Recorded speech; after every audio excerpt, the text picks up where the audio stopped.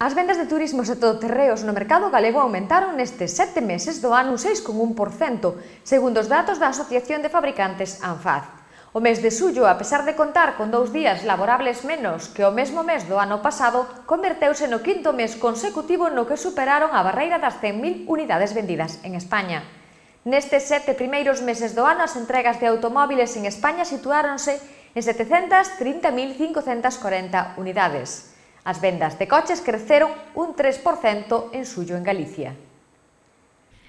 As vendas de turismos a todo terreos no mercado galego situáronse en 3.785 en suyo nos sete primeiros meses do ano aumento e do 6,1%, segundo os datos da Asociación de Fabricantes Sanfaz. O mes de suyo, a pesar de contar con dous días hábiles menos que o mesmo mes do ano anterior, converteuse no quinto mes consecutivo no que se superou a barreira das 100.000 unidades vendidas en España.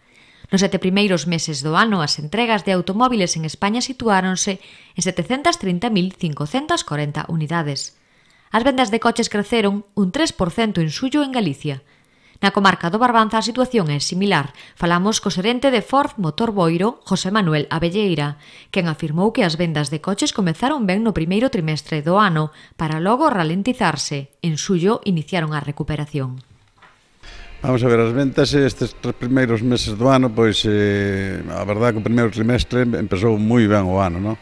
Despois eh, desacelerouse un pouco e agora parece ser que estamos recuperándonos, sobre todo este mes empeza fuerte, hai xente na exposición, por lo menos hai máis eh, afluencia de xente, non? Que o problema está cando non ven a xente.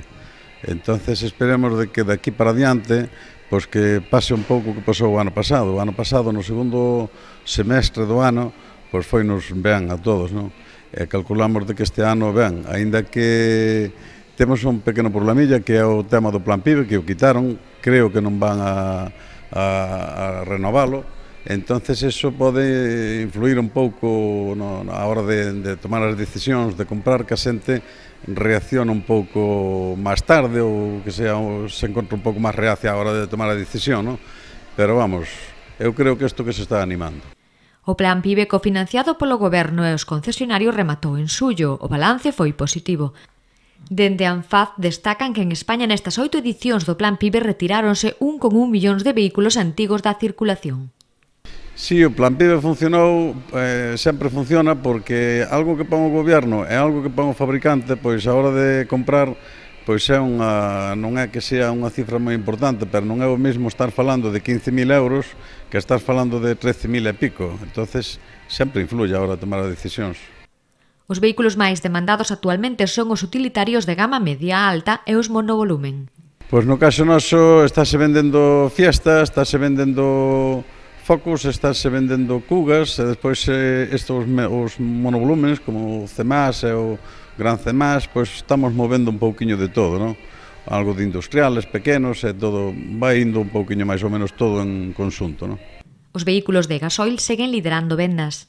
Sí, a xente por moito que estamos intentando vender gasolina e falamos de que agora os coches de gasolina consumen moi pouquiño, de feito nós temos uns motores que, que vamos, que son eh, eh, estupendos a hora do consumo, porque teñen un consumo moi, moi reducido, pero a xente todavía se inclina máis por o, por o gasoil, non? O sea, eu calculo que de calquer xeito un 75% da xente compra, compra gasoil.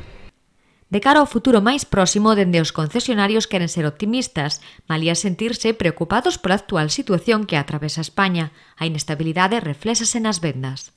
Bueno, o tema de estar metido no sector dos coches, se non eres optimista, casi casi é mellor que cerres a porta mañá, non? Eh, eu calculo que, que vamos a mellorar bastante.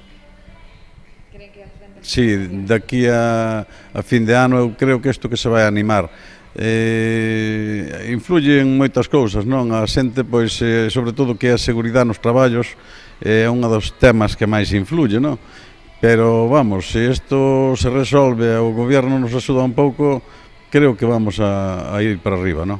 Porque xa levamos desde o 2011 con moito esforzo e con moito sacrificio, e calculo que agora empezaremos a carburar. Cabe destacar tamén a maior flexibilidade dos bancos e financeiras á hora de conceder préstamos para a compra dun vehículo.